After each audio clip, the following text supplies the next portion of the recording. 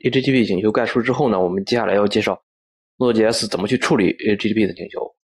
这块其实还是算一个基础知识，就是我们上一节只是一个从一个 Chrome 访问百度的一个示例演示方面去介绍，然后这一节呢，我们就通过 Node.js 写代码去介绍。因为上节我们介绍其中有个部分叫 Server 端如何处理请求并返回这块是一个空白，是一个黑盒，没有介绍。那正好就趁着我们现在讲这个 Node.js 处理请求呢，我们就把这个空白给补上，看一下 Node.js 怎么去作为 Server 端来处理 HTTP 的请求。它主要包括几个部分啊，就是 GET 请求怎么处理，以及这个 GET 请求这个常用的 query string，就是所谓的 URL 参数。讲到 URL 参数呢，我们就能想到我们当时在做技术方案的时候，我们在讲 list 接口的时候要传两个 URL 的参数，叫 author 和 keyword。大家忘了没有关系啊，这个后面我们会再继续做。然后 post 请求和 post data，post 请求我们在讲技术方案的时候说过，像登录啊，像新增博客，像更新博客，像删除博客，都是用 post 请求来做。然后以及 post data，就是比如说我们在更新或者说新建博客的时候，怎么去把这个标题和内容通过 post data 的方式去传过去。然后就是路由，所谓的路由就是我们所说的那个接口地址，比如说斜线 API、斜线 user、斜线 login 这些。路由该怎么去处理？这个我们都会去演示。然后这几个演示完之后呢，我们会有一个综合的示例来演示一下 Node.js 处理 HTTP 请求的一个常用的几种方式。会有一个不算简单，就是稍微复杂一点的一个综合的示例。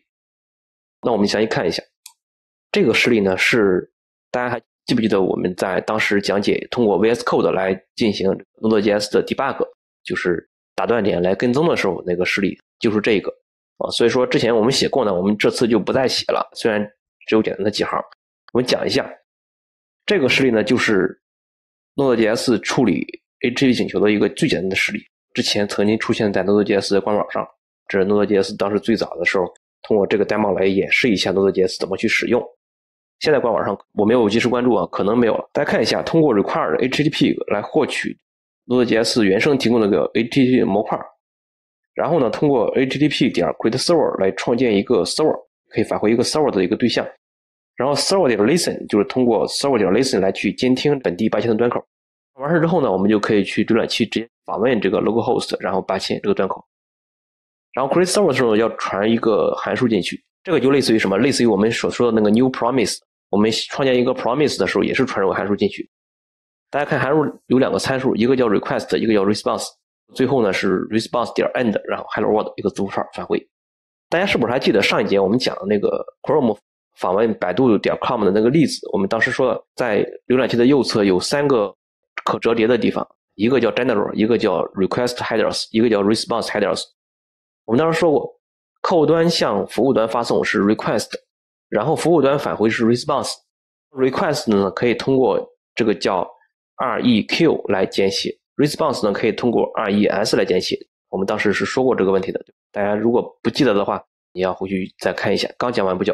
然后这儿我们就用上了这两个参数 req 和 res，其实就是 request 和 response。request 就是我浏览器发送过来什么东西，response 就是说我这个服务器要向浏览器或客户端返回什么东西。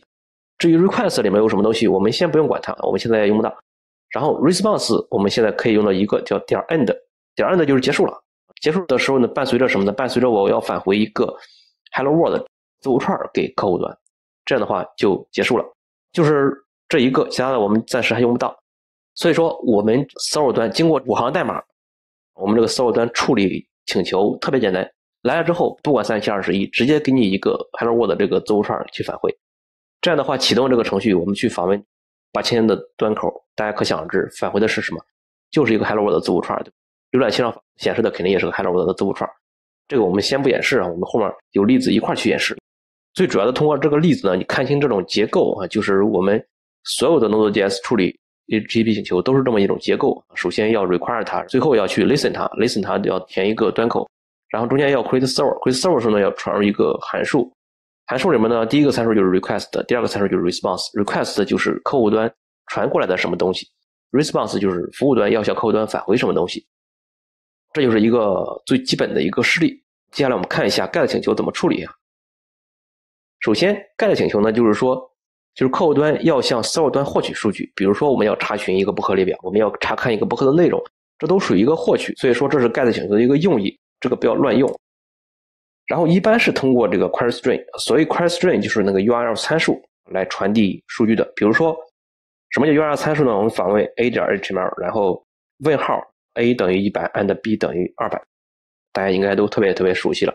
不管你是之前做过前端还是做过后端，这个应该是特别熟悉，我就不用再讲。然后浏览器直接访问就发送 get 请求，就浏览器中直接去访问，就像我们之前演示的那个 Chrome 去访问百度点 com，我们也看到过，它发送的确实是 get 请求。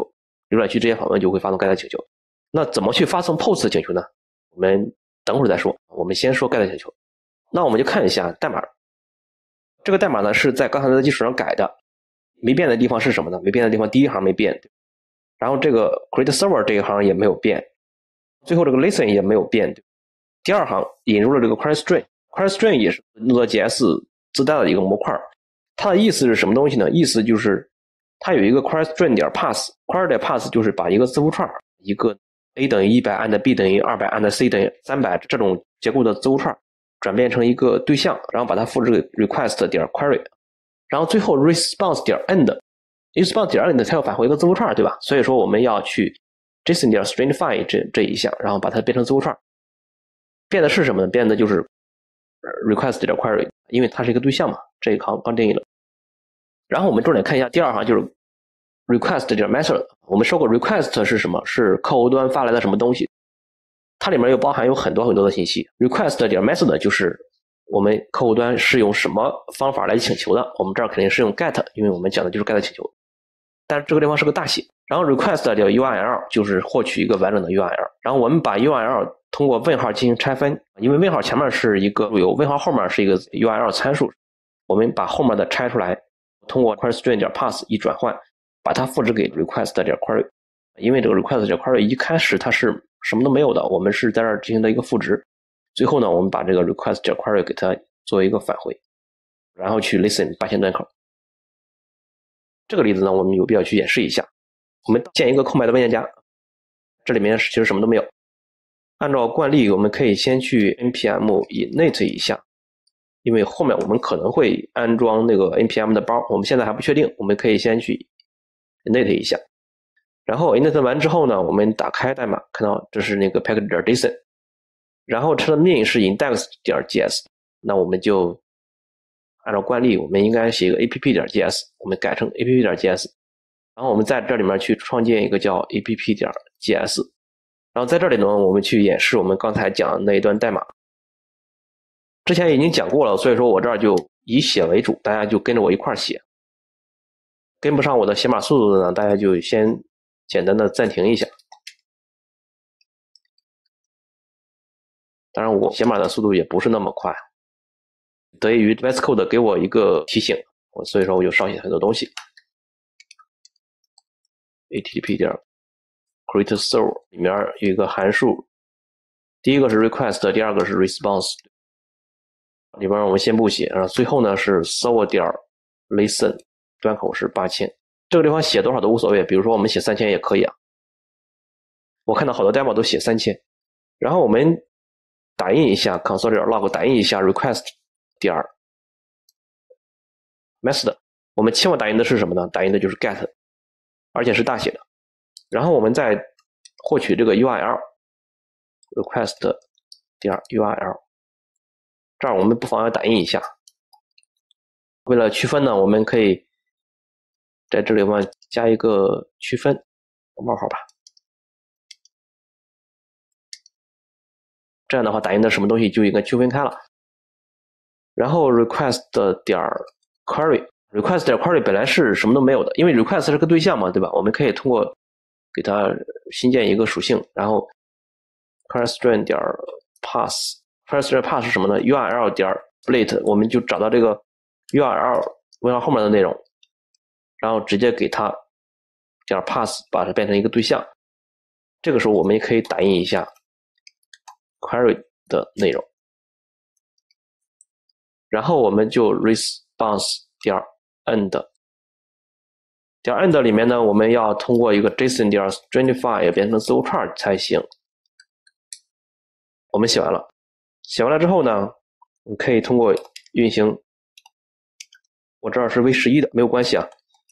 node app 点 js，这样的话它没有返回，没有返回是什么呢？是因为我们 listen 完之后，我们按道理应该是加一个，简单来说，OK 八千，不要写八千了，就 OK 吧，OK 就证明是 listen 成功了。